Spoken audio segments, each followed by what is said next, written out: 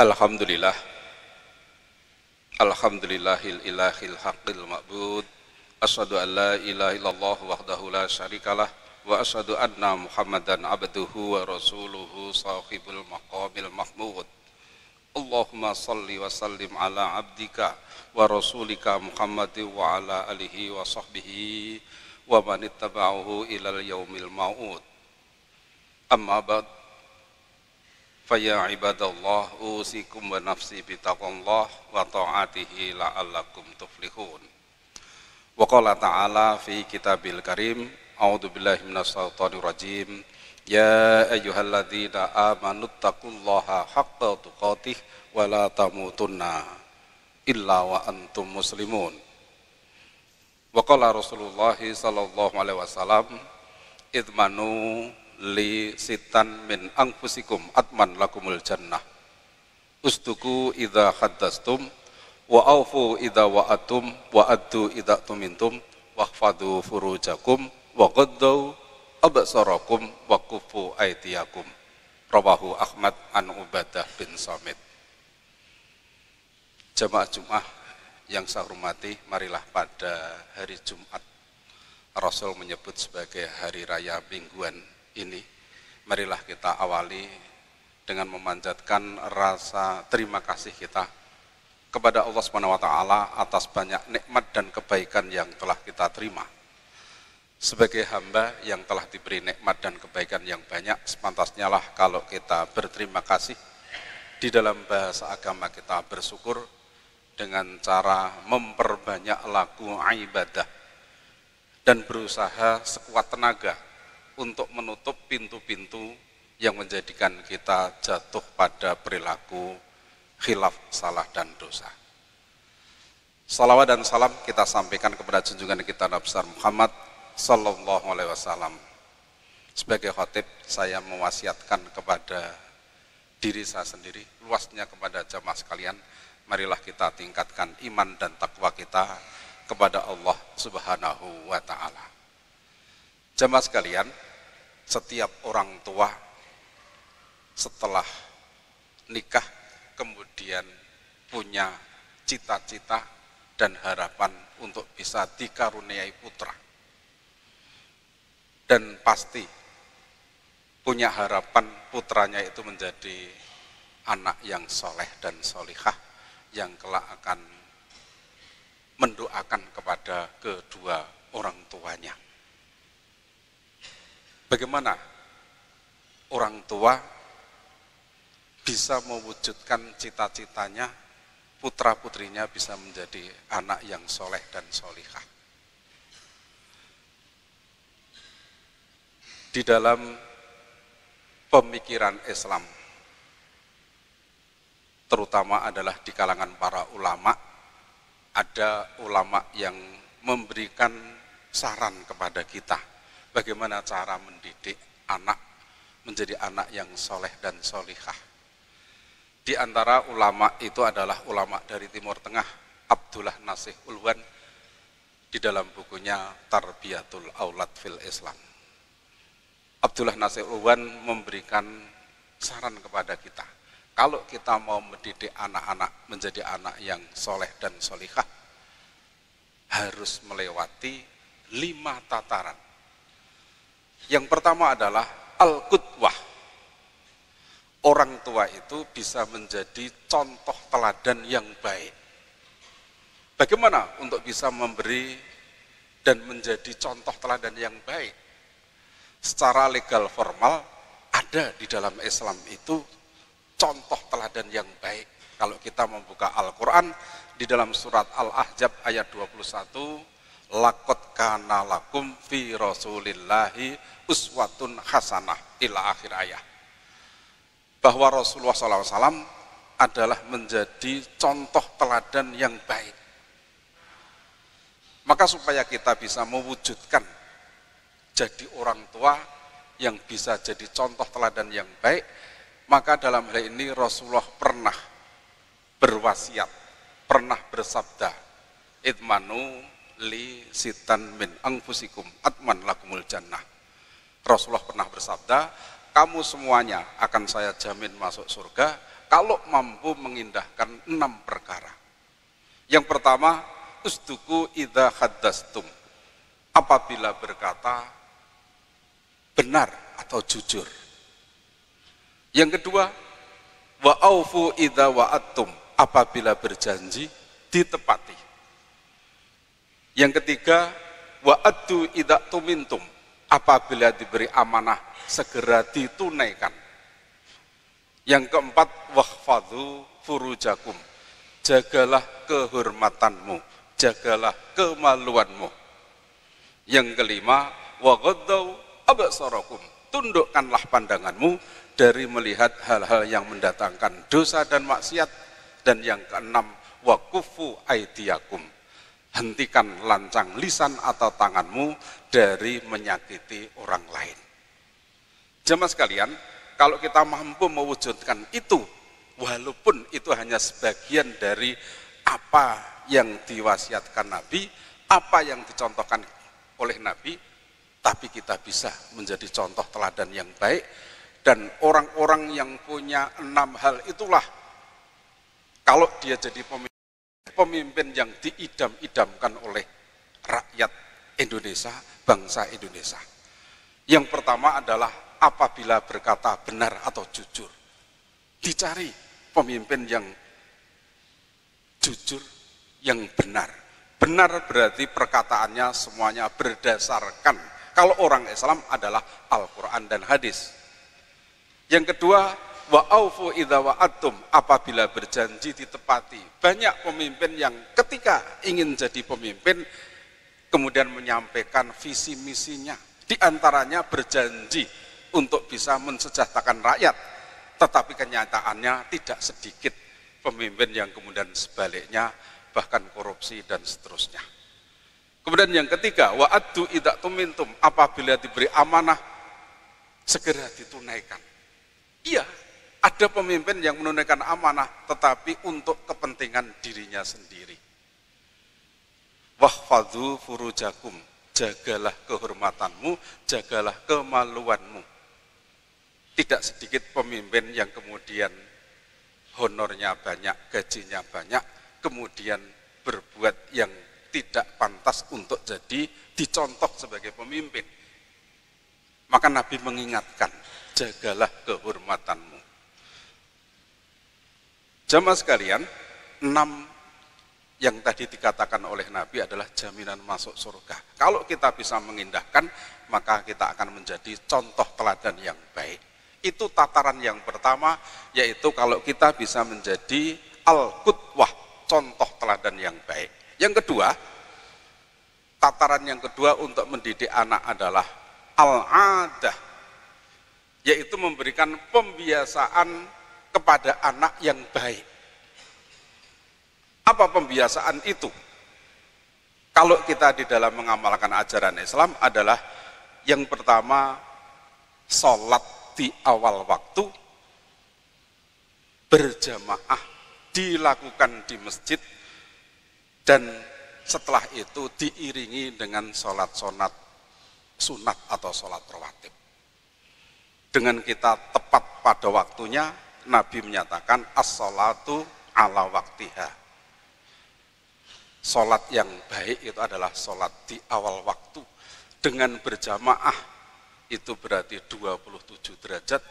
Dengan kita masuk berjamaah di masjid, kaki kanan menuju ke masjid meningkatkan derajat pahala dan kaki kiri menuju ke masjid menghapus dosa. Ini di antaranya. Kemudian yang kedua adalah membiasakan membaca Al-Quran. Kemudian yang ketiga, membiasakan berpuasa sunnah. Kemudian yang ke Empat adalah membiasakan berzikir dan berdoa. Dan yang kelima adalah membiasakan berpikiran positif. Anak dengan dibiasakan itu pertama kali sulit. Tetapi kalau kemudian dibiasakan, dibiasakan, orang bijak menakan sesuatu yang sulit itu kalau dibiasakan akan menjadi gampang, akan menjadi ringan.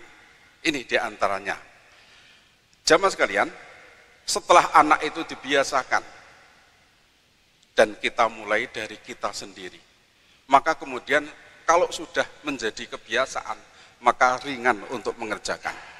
Tataran yang ketiga yaitu al-mau'idah. Pembiasaan yang diberikan kepada anak supaya anak menjadi dan memiliki kebiasaan yang baik itu kemudian diberitahukan, dijelaskan supaya anak itu tahu.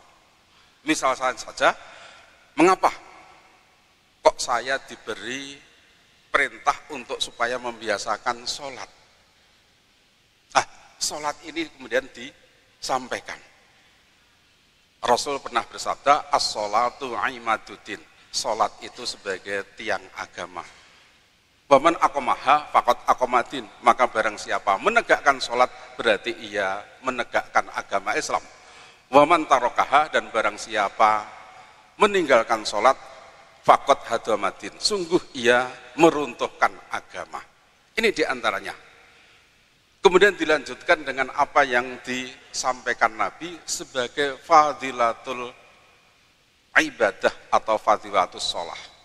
Yaitu yang disebut dengan wathamanul jannah. Salat itu sebagai harga penukar surga. Selanjutnya, wa maradatu rabbi. Orang yang sholat itu menjadikan Allah ridho. Kemudian wathiklul mizan. Sholat itu sebagai pembeban berat timbangan kebaikan kelak di akhirat. Dan yang terakhir, wahijabu minanar sholat itu sebagai penghalang api neraka. Kalau anak itu kemudian diberitahu seperti itu, maka kemudian akan tahu. Ini di antaranya. Termasuk di dalamnya, kalau anak diberi nama dengan nama yang baik, maka anak itu akan semangat untuk berbuat baik dan seterusnya. Tapi kalau anak itu diberi nama, kemudian tidak dijelaskan, maka bisa saja kemudian keliru di dalam menerjemahkan atau menjuluki anak itu. Ada anak diberi nama Darwis, maunya orang tuanya, dengan Darwis itu adalah orang yang mampu membina kehidupan agama atau keagamaan orang atau jamaah atau warga dengan baik. Ini dengan julukan Darwis. Tetapi karena tidak dijelaskan, maka teman-temannya kemudian dengan bahasa Jawa, darwis itu artinya modar yowis. Ah, ini bisa keliru seperti itu. Ini di antaranya. Jadi yang ketiga adalah al-mau'idah. Anak setelah diberi pembiasaan yang baik, kemudian dijelaskan dengan sejelas-jelasnya pembiasaan itu. Jamaah sekalian, kemudian yang keempat, al-mulakhadah tataran yang keempat, anak itu setelah diberi contoh teladan yang baik, diberi pembiasaan yang baik, dijelaskan pembiasaan yang baik itu, maka kemudian al-mulahadoh, diperhatikan bakat dan minat anak itu. Kalau anak itu suka sepak bola, maka kemudian disekolahkan di sekolah sore sepak bola dia akan menjadi anak yang berbakat dan bakatnya bisa dikembangkan dan tidak sedikit anak-anak yang kemudian bisa menjadi pesepak bola yang terkenal. Apalagi sekarang industri sepak bola itu adalah menjadi industri yang sangat menjanjikan dan tidak sedikit pesepak bola yang kemudian bisa secara materi memiliki kekayaan yang lebih daripada yang tidak. Ini di antaranya. Maka ini ada kaitannya dengan yang kelima, al-uqubah. Kalau anak itu melenceng,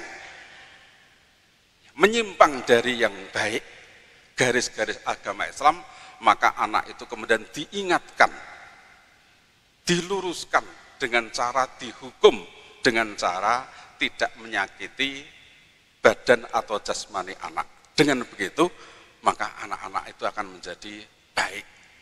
Tapi sebaliknya, kalau anak itu kemudian berprestasi, maka jangan segan-segan orang tuanya memberikan reward atau hadiah sehingga anak itu menjadi lebih berprestasi atau semangat untuk meningkatkan prestasinya.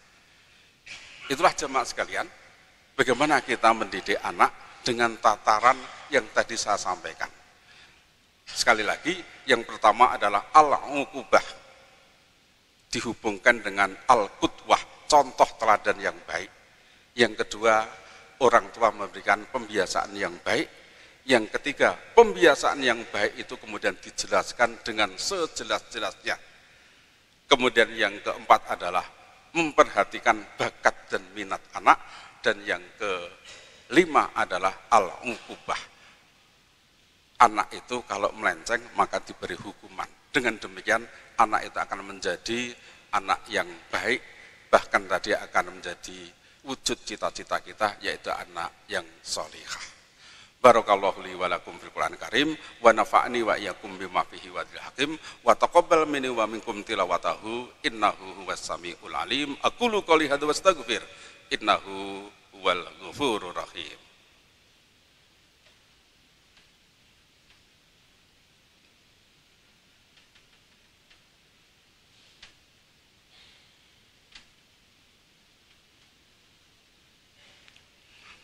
Innal hamdalillah nahmaduhu wa nasta'inuhu wa na'udzu billahi min sururi anfusina wa min sayyiati a'malina may yahdihillahu fala mudhillalah wa may yudlilhu fala hadiyalah.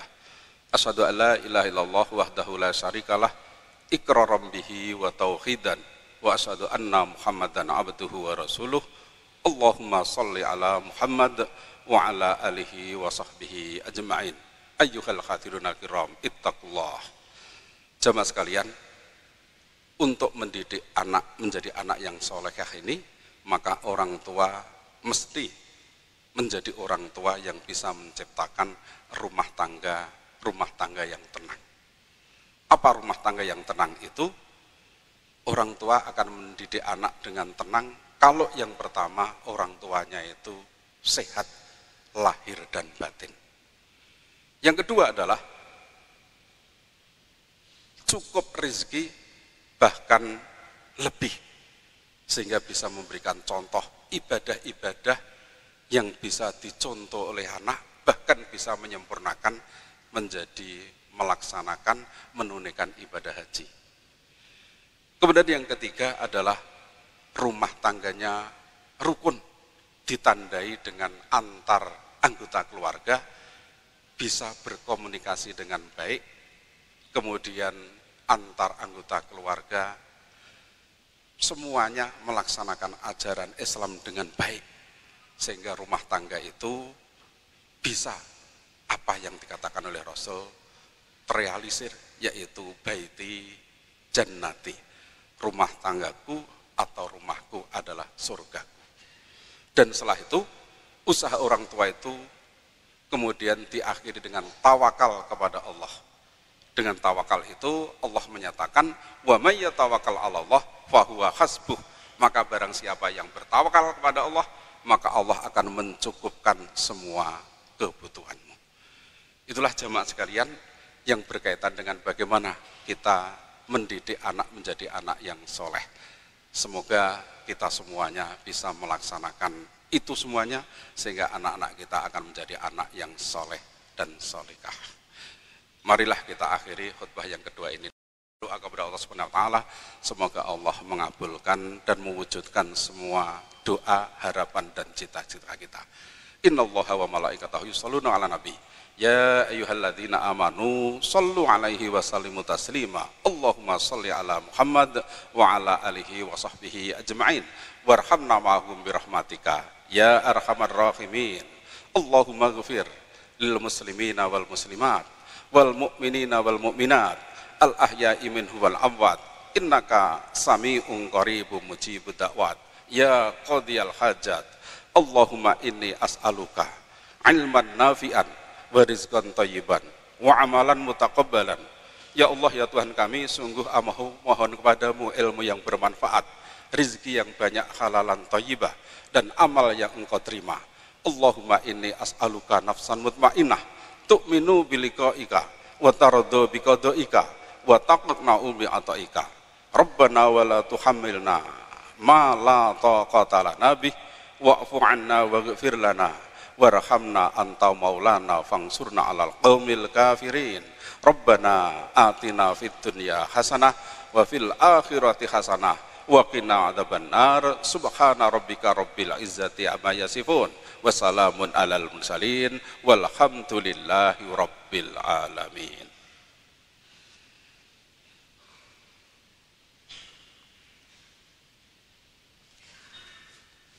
Mohon